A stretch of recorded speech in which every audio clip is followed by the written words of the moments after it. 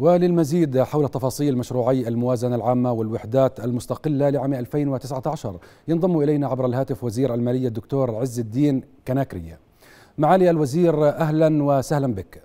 أهلا فيك مساء الخير لك أخي حمدان ولجميع الأخوة المشاهدين.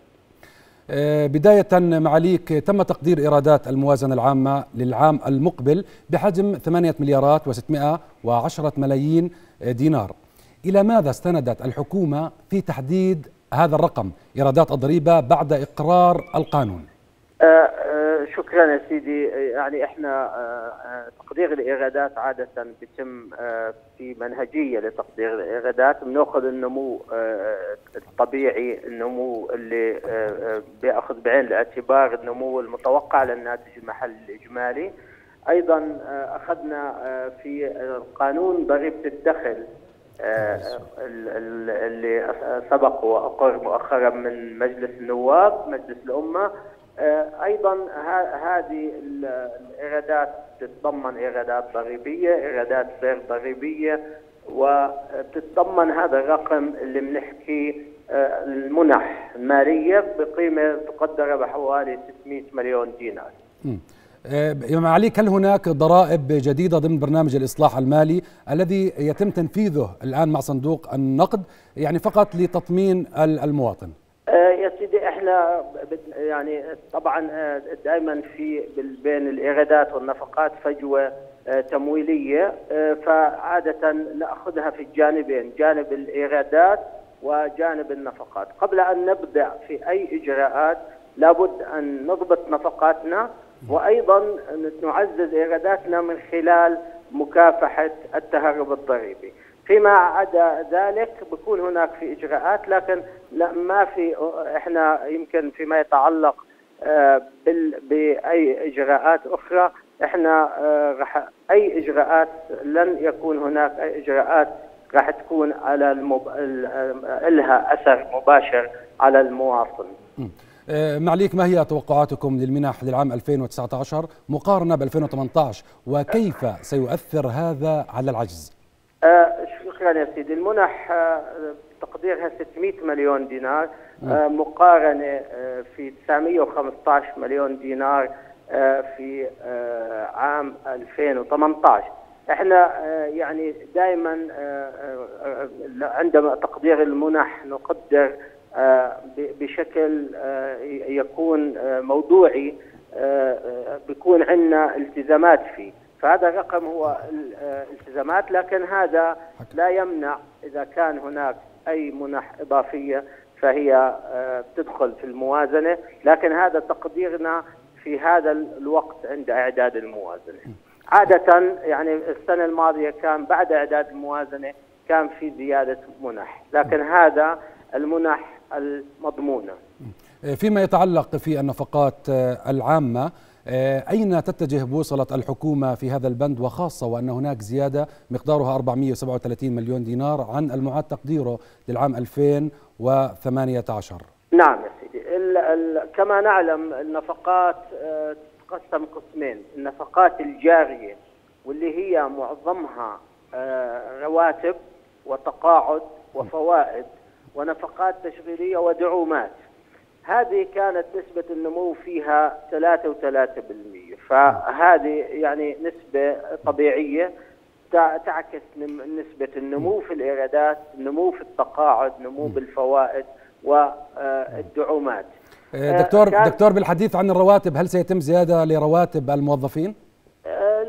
يا سيدي هي الرواتب الموظفين هناك زيادة طبيعية لكل موظف حسب نظام الخدمة المدنية فسيكون الزيادة حسب نظام الخدمة المدنية الزيادة الطبيعية م. التي تزداد لراتب كل موظف ما هي الزيادة الطبيعية دكتور؟ هي حسب درجة الموظف نظام الخدمة المدنية هناك في حسب الدرجة ففي هناك زيادة طبيعية تكون بحدود 2 و7 هذه الزيادة الطبيعية اللي الموظف تنعكس على راتبه سنويا يعني تقديرات زيادة الرواتب في الموازنة. نعم الزيادة الطبيعية اللي بياخذها الموظف سنويا. طيب ما هي مخصصات شبكة الأمان الاجتماعي ودعم الخبز لعام 2019 هل هناك زيادة أم نقصان ولماذا؟ سيدي شبكة الأمان الاجتماعي بتوصل هذه السنة ل 600 حوالي 650 مليون دينار. آه، هناك راح يكون في آه، منها للدعم بما في دعم النقد والأعلاف. آه، راح يكون هناك لصندوق المعونة الوطنية. هناك راح يكون صندوق المعونة 131 مليون. راح تكون مخصصاته بزيادة 30 مليون عن العام السابق. أيضا في للمعالجات الطبية لغير المؤمنين آه، حوالي 125 مليون. هناك آه، سيكون آه، دعم سيستمر الدعم لمخصصات لصندوق دعم الطالب المحتاج دعم الجامعات مشروع تعزيز الإنتاجية وكما ذكرنا المعونات الأخرى المتعلقة بالتغذية المدرسية وغيرها. دكتور دعم الخبز آه، متى سيكون؟ الدعم النقدي يا سيدي آه، بعد يعني إحنا عادة بنحط مخصصات لكن بعد أقرار الموازنة بصير آه، تحديد وأيضا الأسس اللي بتم على يعني يعني بشهر 1 2 2019 إحنا يعني هذه الموازنة حسب المواد الدستورية يجب أن تقدم. غدا الموعد الدستوري لمجلس نواب. ومن ثم بعد اقرارها من مجلس النواب الآن الفترة هي تصبح بصلاحية مجلس الأمة أه، فيما يتعلق في موازنة الوحدات المستقلة ما هو الجديد بعد نقل موازنة بعض الوحدات إلى الموازنة العامة؟ يا سيدي إحنا أه، أه، كما نعلم أنه هذه الجديد في الموازنة العامة لهذا العام أنها تضمنت موازنة 29 وحدة حكومية نقلت من قانون الوحدات الحكومية إلى قانون الموازنة العامة وهذا للأمانة آه، جانب من جانب الإصلاح الهيكلي وبعكس آه، شمولية أفضل في البيانات المالية وتعزيز للرقابة الآن بعد نقل 29 وحدة سيبقى في الوحدات الحكومية 25 آه، وحدة. طبعا إحنا بنحكي كمرحلة أولى في مخططنا للعام القادم نقل أيضا آه، وحدات أخرى إلى قانون الموازنة العام. آه، دكتور يعني أخيرا آه، نتحدث عن الزيارة لصندوق النقد الدولي والتوافق بين الموازنة وصندوق النقد الدولي. نعم يا سيدي يعني المهم في قبل الانتقال لصندوق النقد الدولي إنه إحنا هذه الموازنة تضمنت أولويات الحكومة أولويات عمل الحكومة للعامين القادمين اللي بتعلق بخدمة الوطن مخصصات آه، نفقات للتدريب والتشغيل الوطني. آه، أيضا راعت برنامج الإصلاح المالي اللي إحنا بننفذه بالتعاون مع صندوق النقد الدولي. فكما تلاحظ وكما ذكرت في تقريرك أخ حمدان إنه العجز سيبلغ 2% من الناتج المحلي الإجمالي وهذا آه، يعني آه، تحسن كبير بالاتجاه التخفيض.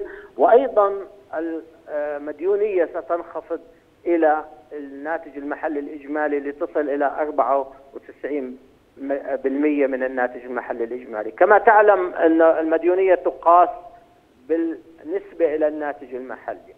آه كدين كدين كرقم مطلق سيزيد بقيمة العجز لكن كنسبة من الناتج المحلي وهو آه يعتبر آه تطور إيجابي أنها أصبحت خططنا تتعامل في تخفيض نسبة الدين إلى الناتج المحلي الإجمالي. وهذا طبعا آه، ضمن برنامج الإصلاح اللي بننفذه بالتعاون مع صندوق النقد الدولي. آه، وزير المالية دكتور عز الدين كناكرية شكرا جزيلا لك. شكرا يا سيدي تسلم.